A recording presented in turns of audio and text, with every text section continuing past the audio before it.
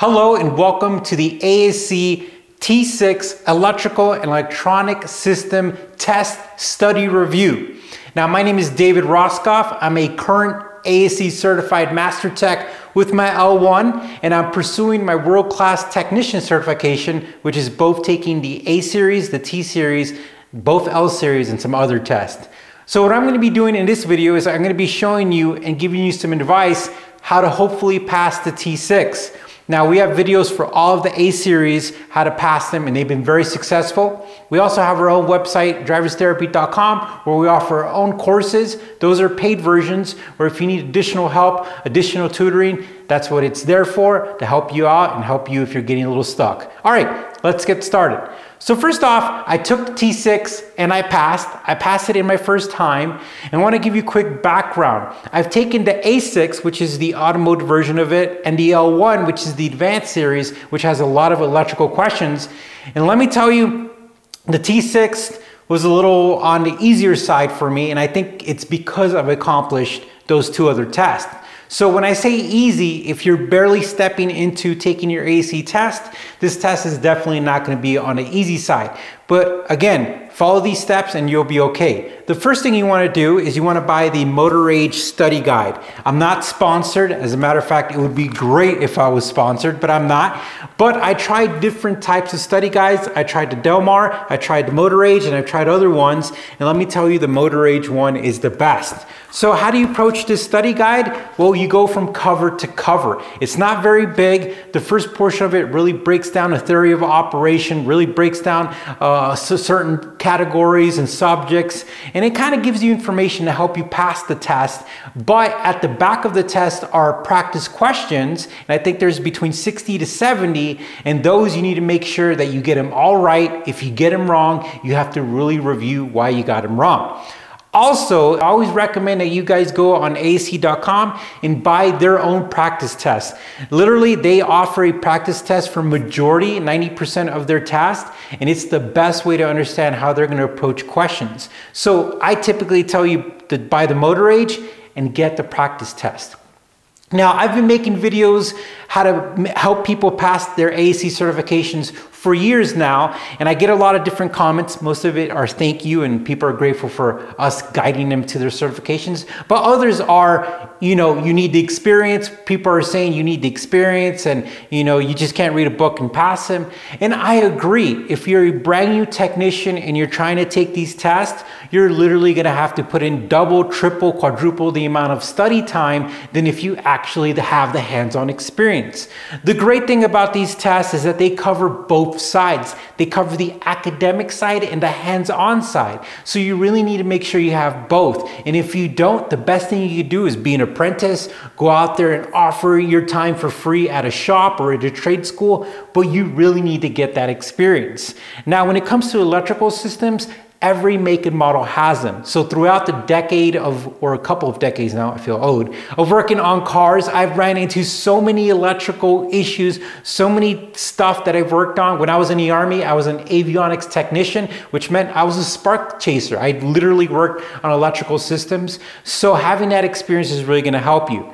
Now, some of the things you need to get real versed if you're a brand new technician and you want to get your T-Series and you want to pass this test is you're going to have to know how to use a multimeter or a DMM as an acronym, which is for digital multimeter. You're really to have to know how to use that. You're to have to know every setting. We have a free video series, meaning that we have from the beginning to advanced how to use a multimeter. I'm to put the link in the description. At the end, you'll see the playlist for it but you really know need to know how to use a multimeter.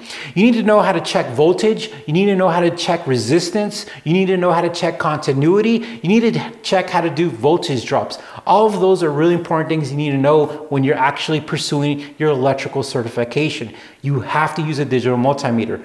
Whenever you're using a digital multimeter in the real world, you'll realize that you're either going to use that or a scan tool, and then you're going to use the next thing that's literally your buddy, and that's going to be your schematics, your wiring diagrams, or your software that pulls that up for your vehicle. Now, the great thing about wiring diagrams and schematics is that they are the map and your friend to troubleshooting. Anytime that you're trying to look for an issue, you're gonna have to look at a schematics. Hopefully, if you're watching this video, you've dealt with a lot of wiring diagrams, you've troubleshot issues using a wiring diagram. If you do that, you are ready to essentially start learning how to pass this test. If you've never utilized a wiring diagram or schematic to troubleshoot your real world issue, you're gonna have a lot of problems because this test actually has questions with wiring diagrams that you need to isolate, you need to figure out what's going on, and you need to be able to deduct what is actually the possibility of what went wrong with it versus what the other answers are offering you. So you actually need to have that hands-on. Also gonna put in the link where this guy who has a great YouTube channel, he breaks down um, wiring diagrams and schematics better than I do. So I recommend you looking at his channel first if you don't know anything about wiring diagrams and schematics. And if you are, it's a good refresher, but you really need to know how to understand what a switch is, what a relay is, how a relay works, how a switch works, how electricity flows, how it flows from negative to positive, how it literally works, where you should have a voltage, where you should have resistance. Whenever you're looking at a circuit, if you're doing a voltage voltage drop, if you're supposed to have, you know, voltage at what part of it, the relay, all of this stuff is really critical to know. So if all of this sounds very foreign to you, you should wait, get some experience before you start taking this test because these electrical tests are no joke. They are literally required, they're requiring you to have some experience because they're testing you that way, which I actually think is pretty good. So a couple of things you really want to know for the test. Again, schematics, wiring diagrams, voltage drop, and batteries. If you've dealt with batteries in cars, you're going to be very far in the automotive test. You want to know batteries and you want to know starter systems. Very, very important for this test. Extremely important. You want to know what a static charge is. So let's say you turn the car off on your battery. How much voltage are you supposed to have? Are you supposed to have 14 volts, 13 volts, 12 volts? I don't want to give you the answer because I want you guys to look for it, but that's something really important. And of course, that static charge will go down to the regular charge, you know, of your battery. So you need to know batteries really well. You need to know your different types of batteries, your lead batteries, your AGM batteries. You just really need to understand what happens when a battery is being charged, when to test the battery, how to test the battery. All this stuff is super important for you to pass this test. So what should you do, guys? Right? Motor Age. I'm hearing you as if you were in class with me, you want to get the Motor Age book. You want to learn how to use a digital multimeter. You want to be proficient with schematics and wiring diagrams. You want to know how to troubleshoot using wiring diagrams. You want to know how to do voltage drops, check for continuity. You want to know batteries, car automotive batteries. You want to know how they charge, uh, what their actual voltage is supposed to be, how you're supposed to check a voltage drop in a battery system, a starter system, the solenoid, how a solenoid works, where you're supposed to have power, how you're supposed to do voltage drop checks in a starter system. So all of this is really important for you to know, but here's a couple of questions also that you might want to look into. How much is your alternator supposed to be putting out? How does an alternator work? The signal wire, the feed wire, how does an alternator actually work and how do you troubleshoot it without actually taking it out and bench testing it? How do you troubleshoot it within the car, within the circuit? Also understanding different sensors like your ABS sensor or your speed sensors. Those are gap sensors, right? How does, what happens if the gap is too big or too small? So those are some of the things I want to give you an idea of how these tests work. But before we end the video, I'm going to give you one more kind of rundown of what you should do.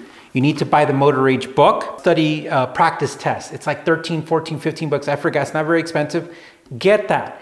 Once you've completed that, then you need to look into using a digital multimeter, knowing how to use all of its features, understand voltage drop. Then you need to understand how switches work and relays work and how you test them.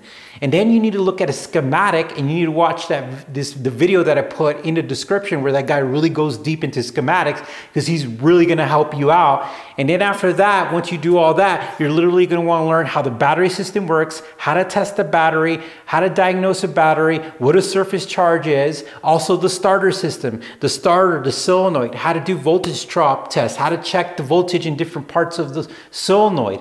And then after that, you're going to want to know how switches work, how let's see uh, hall sensor works, things like that. And then you're really going to get real well versed with troubleshooting things. If a car doesn't start, again, you're going to see schematics. You're going to see wiring diagrams in the test. Now, I can't tell you what's on a test because I would get in big trouble, right? But one thing I can tell you is that there are literally schematics in the test they're gonna ask you, they're gonna have like a little multimeter and it's gonna have little leads and they're gonna be like, this is what the multimeter shows and in two different spots what's going on. And you have to know, okay, the lead is in the positive side, the, lead is in the negative side, it's on the beginning of the relay circuit, the relay circuit isn't energized or it is energized. You're literally gonna have to walk through all of that. You're gonna have to find the ground, where's the ground, where's the ground side of the circuit, where are you probing, where are you checking?